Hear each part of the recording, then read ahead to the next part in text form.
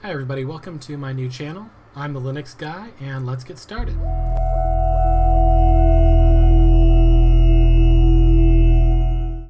Today I'm going to start a series of videos on how to use Linux for various daily activities, whether it comes to gaming, 3D printing, all sorts of things you can use it for. Uh, I used to run a channel called Processors and Things on YouTube. Now I'm migrating to an independent channel on LBRY. I'm also going to host one on BitChute and I think YouTube as well. YouTube videos are going to be posted a day late though, so follow me on LBRY or BitChute. Check out these new alternative platforms. In today's episode, I'm going to talk about FreeCAD, and basically what sparked me to think about talking about this was I've been getting into 3D printing recently, and a lot of people online say that 3D printing and Linux just don't mesh real well, and I kind of reject that notion, so basically, I'm here on my Pop! OS desktop. I'm running Pop! OS 20.04, I'm going to dive into operating systems more in other videos, but right now I'm just going to talk about how to get some stuff done. I think that's where I'm going to start. So I'm going to open up FreeCAD and I'm going to show you some stuff you can do, some tips and tricks to help you get started with it. And then you can use FreeCAD for STL modeling, for 3D printing. So basically here's some models that I have, but I'm going to open FreeCAD. Now if you don't have FreeCAD, there is a Flatpak available. That's what I have installed on my Pop! OS install. There are some older builds available, I think, in the Debian repositories, but I want the latest build, so I went ahead and got the newest build of FreeCAD, which is 0.18 at the time of recording this. There may be more coming out later, but FreeCAD is actually a really excellent tool. It's a professional tool, and you can do all sorts of stuff with FreeCAD. I'm going to go ahead and close the start page, and I'm going to go ahead and open the part workbench in FreeCAD, because this is where we're going to do most of our work. We might use the draft workbench as well for one little thing, but we're mostly going to do stuff in the part workbench.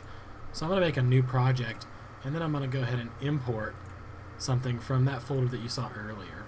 So right here I've got a guitar backplate, and I designed this a while ago in FreeCAD, and basically I needed a custom-made backplate for one of my guitars. I play guitar, and here it is. I made this entirely in FreeCAD, and effectively I'm going to show you how that's done. So I'm going to go ahead and start fresh and I'm going to give myself a cube and let's give it some dimensions. So over here you can change the color. Notably you can change transparency and color. There's other things you can change here. They're probably not super relevant. Color is helpful though when you have multiple objects and transparency is nice if you need to see things inside of another object. But right now we just need this one and I'm going to arbitrarily pick some length and heights. Let's say I wanted it to be 4 inches by 4 inches by a quarter inch high. And I can easily create that shape here, and I can scroll out, and there it is. So, let's say we wanted to make some kind of design in this thing. Well, we could pull an STL file in, and I think I'm going to do just that. So, what I want to do with this Linux Penguin, well, first of all, I'd like to see it better. So I'm going to go to the Transform tool, which will let me look at it a little bit more clearly and move it around. So, there it is. And we'll click OK and the next thing I need to do is I need to convert this guy. So right now this is a mesh, but you see that this is a part. The cube that I made is a part. Also it's kind of big, so I'd like to make it a little bit smaller. So how do we do that in FreeCAD? Well, we've imported the STL. That's the first step. But The next thing we do is make sure we're on the part workbench, which we are, and we need to create a shape from the mesh. The tolerance doesn't matter usually, so I usually do the default and click OK. Now you see our Linux Penguin looks a little bit different here. And we have two of him. So I'm going to go ahead and press the spacebar to block out the one that I don't need anymore. And now I have, we have a part, we need to convert it to a proper solid. So we'll do that by clicking convert to solid. Now we've got our solid there. And again, I'll put spacebar on this other one to hide it. Now, he's got all these lines from the import process, so, so there's a way to fix that, and it's called this ref refine shape, so let's do that as well. There we go. Now Tux is looking a whole lot better, more like something we can use here. So there's one last thing we want to do. We want to change his size. And the way we do that is we actually have to make a clone of him. And for this, we do actually need that draft workbench. Now, I'm not going to explain every tool in here because I'm trusting that if you're interested in this, you have at least some idea of what you're doing already. I'm just trying to give you a crash course so that you can get started. Right here, we've got our revision, and we need to make a clone of it. So in FreeCAD, there's this little sheep guy in the draft workbench. You can also find him up here, but I find it easier to just go find him on the actual toolbar. But there he is in here. But I'm going to click this one. They do the same thing. Alright, we've got a clone, and now you see the clone actually has options that the original didn't have.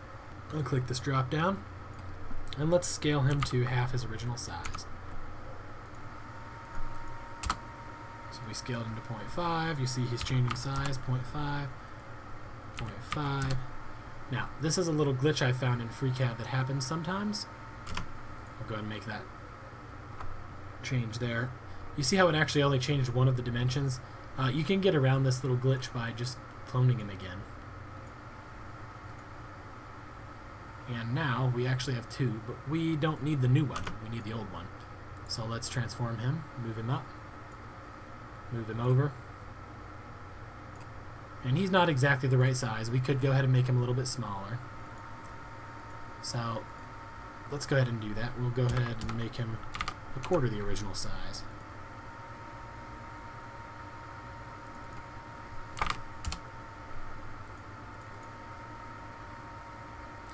And now you'll see that the change is actually working, as opposed to before where um, not so much.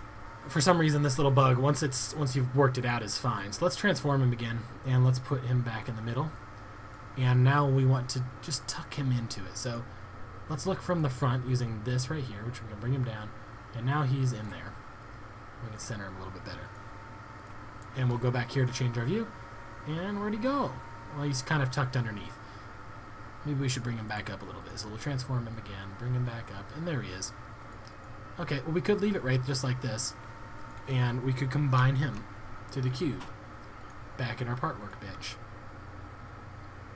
You do that with this tool right here, make a union of several shapes. So I'll click it, and I'm going to undo my change actually after it's done. I just want to show you that it will make this into one object, and we could export this as an STL right now.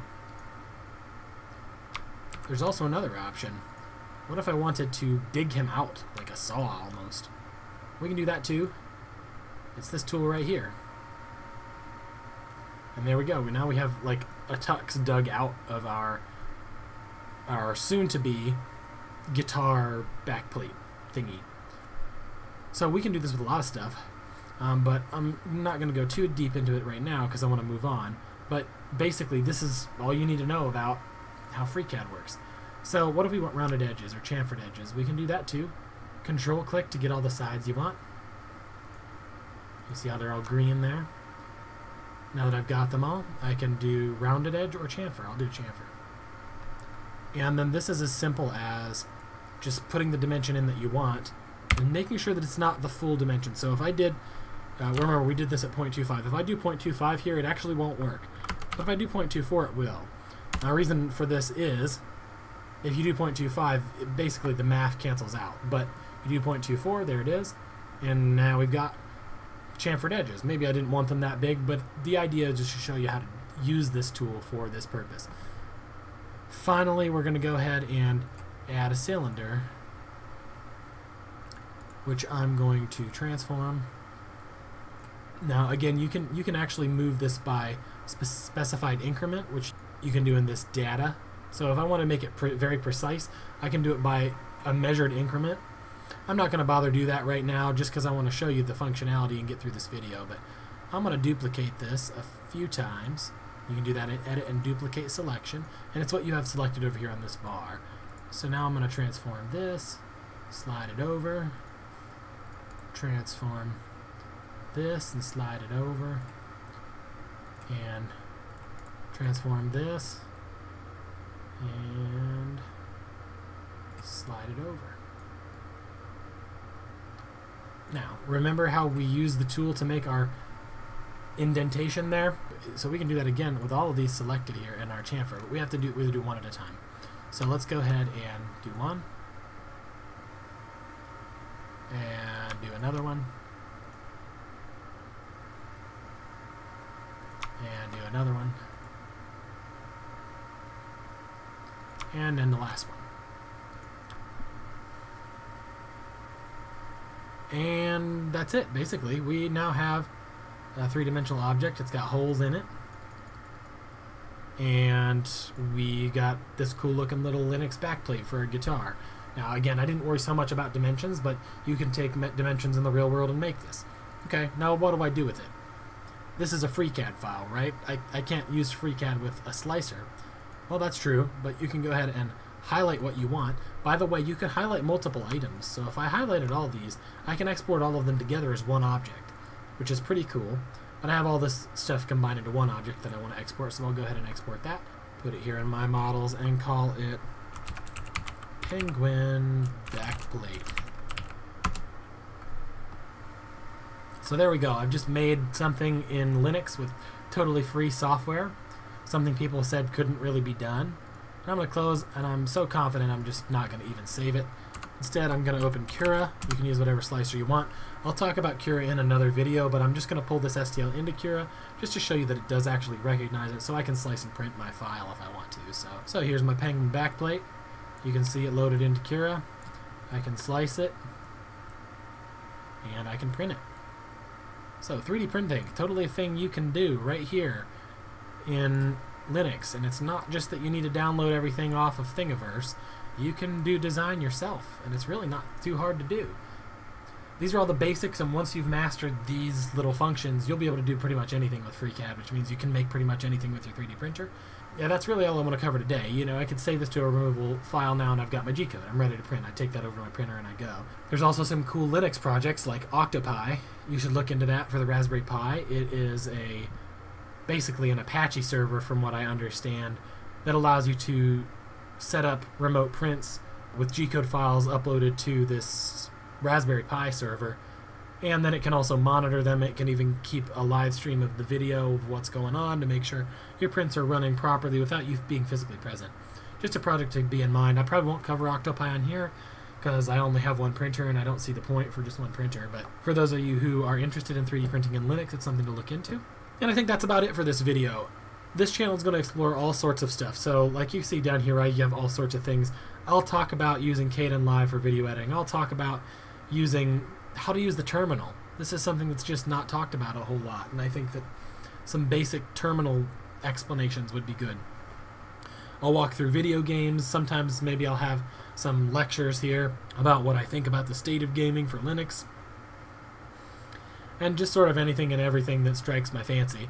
But it'll all sort of have this foundational Linux point of view to it, so if you're interested in doing getting things done in Linux, this is probably the channel for you.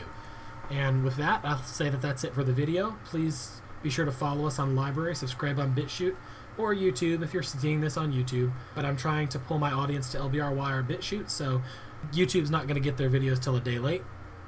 So make sure to check out LBRY Wire Library, and BitChute to see me on these alternative platforms. Thanks everybody for watching, and I'll see you next time.